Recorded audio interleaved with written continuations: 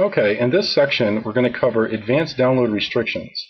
And this is a subsection under S2 member file downloads. And in this section, there's no options. This is just documentation. Okay, and this is very similar to basic download restrictions in that the links start out the exact same way. Okay, it's S2 member file download equals the location of the file relative to the S2 member files directory, the security enabled directory for S2 member. Okay, the difference here is that we're going to append an additional variable that will include a download key. Okay, so we add ampersand S2 member file download key equals. Okay, now the tricky part here is how we produce the key. In order to produce a key, we need to use a PHP code snippet. Okay, so a requirement for using advanced download restrictions is that you can follow this code snippet example.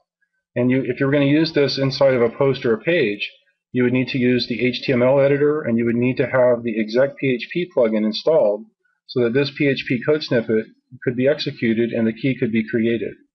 Or you could use this also in a theme file if you like. So if you're using it in a theme file, you can just pop the code snippet right into your theme and have the file keys generated that way.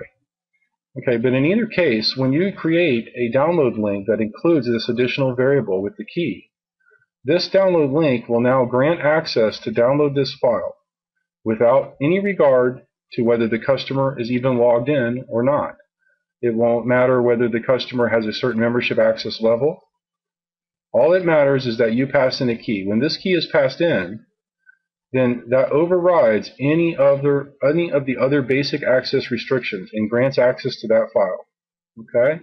So this is great because it gives you as the site owner the ability to produce these links within your own code or within your own pages or posts, and you have full control over how access to these files is granted.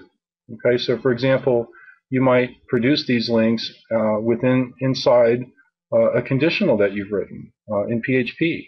Uh, particularly for developers, this gives you quite a bit of control.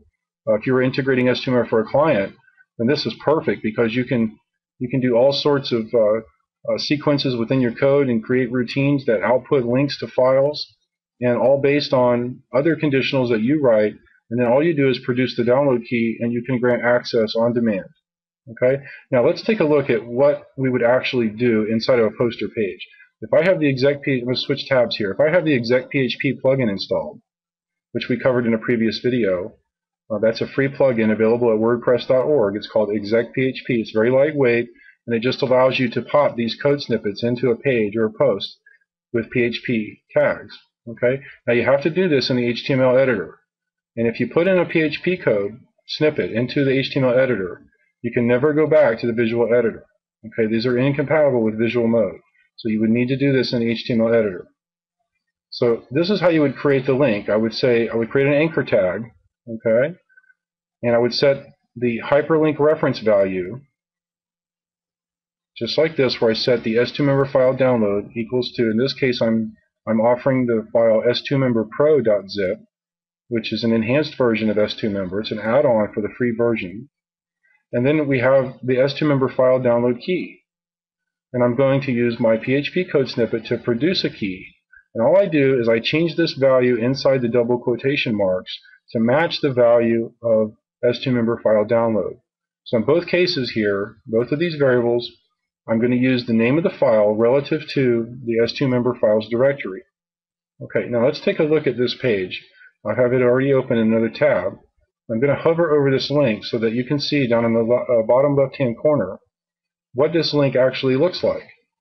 So you can see I have the URL to my installation of WordPress, and then I have a query string that starts with a question mark that says S2 member file download equals s2memberpro.zip, and then I have a key attached to it where it says ampersand S2 member file download key equals, and that is the security key, the file download key that was generated by that PHP code snippet that you see. That's a hash. Okay, so if I click this link, I can now download the file, and it won't matter if I click that link. It won't matter whether I, if I'm logged in or not. It won't matter where the file is located in the S2 member files directory. S2 member will bypass all of its level checks. It will bypass its logged in check if there's a key present, it bypasses everything and allows the, the, the file to be downloaded. Okay, so long as the key is valid. So how do we know if the key is valid or not? Okay, let's take a look back at the download options. And right here is where it details what that function, S2 member file download key, is actually producing. Okay? When you pass in the name of the file to this function, this function will output a hash of an encrypted value that is specific to your installation of WordPress. Okay? And it will encode that value with the current date, the current user's IP address, the current user's browser, and the name of that file that you passed in.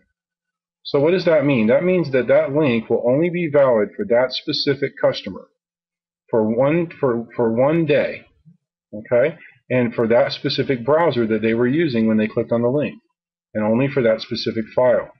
Okay, so what this means is that that link could be spread all over the internet, and there would be no risk of, of it being shared where everyone would gain access to the file because that link is only valid on one particular computer in the world and on one particular browser on that computer in the world.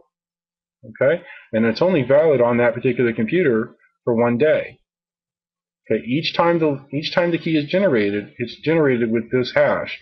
So if you generated this file every time a page loads, then that means that the link, the expiration time on the link, would automatically reset every time it's produced.